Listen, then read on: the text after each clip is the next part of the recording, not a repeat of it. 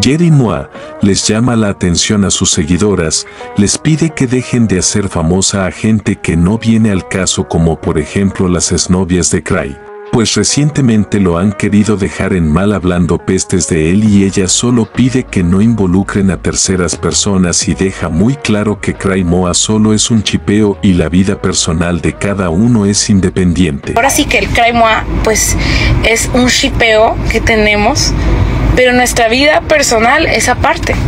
Entonces también em, él también me habló preocupado por cuestiones que él tampoco quiere que le anden husmeando su vida privada, que le anden buscando que quién es su exnovia, que quién, a quién le importa quién es la exnovia de Cray. Con todo respeto a las exnovias de Cray, que no tengo el gusto de conocerlas, pero a quién le importa quiénes son las exnovias de Cray realmente creen que importan las exnovias de, de. Realmente, o sea, realmente figuran en esta situación. Realmente quieren, ¿para qué quieren saber quiénes son las exnovias de Cray? Para luego hacer famosas a las exnovias de Cray. Y luego las exnovias de Cray salgan a hablar pestes de Cray. ¿Sí? Y luego esas exnovias de Cray hagan colaboración con el enemigo de Cray. ¿Y, y qué más quieren?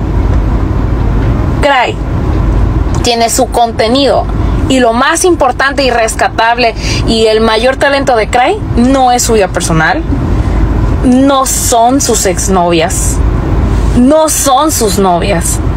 ¿Sí? Lo más, el contenido más importante de Cray es el que les da todos los días y se esmera demasiado en hacerles un chingo de videos y ustedes ven hasta les pone escenarios que está en el campo, que está aquí, que está allá.